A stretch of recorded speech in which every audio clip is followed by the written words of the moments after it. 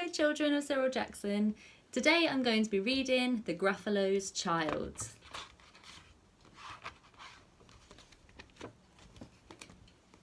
The Gruffalo said that no Gruffalo should ever set foot in the deep dark wood. Why not? Why not? Because if you do, the big bad mouse will be after you. I met him once, said the Gruffalo. I met him a long, long time ago. What does he look like? Tell us, Dad. Is he terribly big and terribly bad? I can't quite remember, the Gruffalo said. Then he thought for a minute and scratched his head. The big bad mouse is terribly strong and his scaly tail is terribly long. His eyes are like pools of terrible fire and his terrible whiskers are tougher than wire. One snowy night when the Gruffalo snored, the Gruffalo's child was feeling bored. The Gruffalo's child was feeling brave, so she tiptoed out of the Gruffalo cave. The snow fell fast and the wind blew wild. Into the wood went the Gruffalo's child. Aha! Aho! Tracks in the snow! Whose is this trail and where does it go? A tail poked out of a log pile house. Could this be the tail of the big bad mouse? Out slid the creature. His eyes were small and he didn't have whiskers. No, none at all. You're not the mouse. Not I, said the snake. He's down by the lake eating Gruffalo the snow fell fast and the wind blew wild. I'm not scared, said the Gruffalo's child. Aha! Aho! Marks in the snow.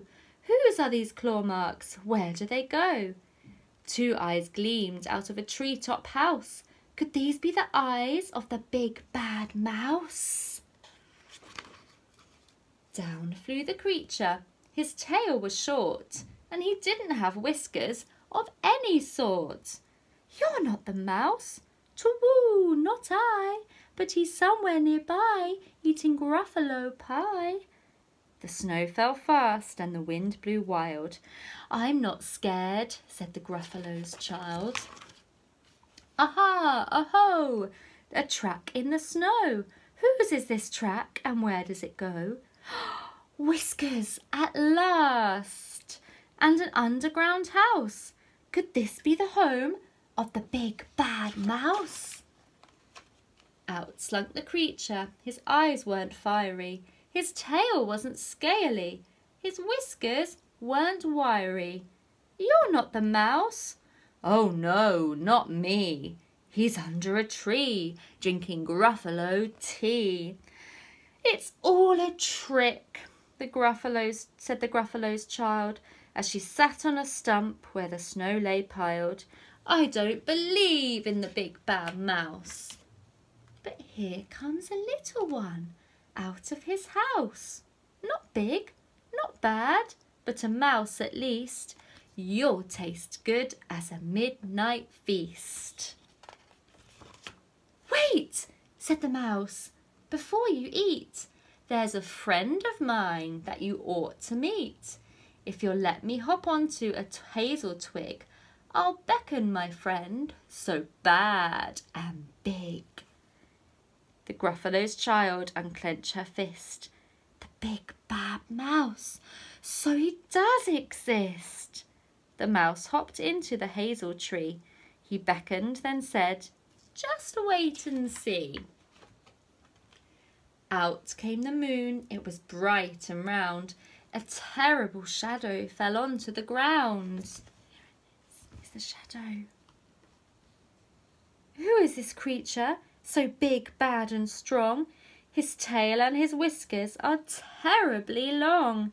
His ears are enormous, and over his shoulder he carries a nut as big as a boulder. the big bad mouse! The yelled the Gruffalo's child. The mouse jumped down from the twig and smiled. Aha! Oh, prints in the snow. Whose are these footprints? Where do they go? The footprints led to the Gruffalo cave, where the Gruffalo's child was a little less brave. The Gruffalo's child was a little less bored. And the Gruffalo snored and snored and snored. The end. Thank you for listening.